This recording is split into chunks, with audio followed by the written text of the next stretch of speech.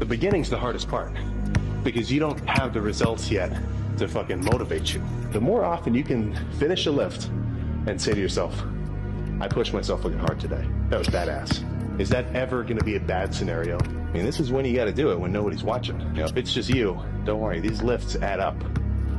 You will fucking get something out of it. You know, think about your ex-girlfriend or somebody who pissed you off in between sets, whatever you want to do.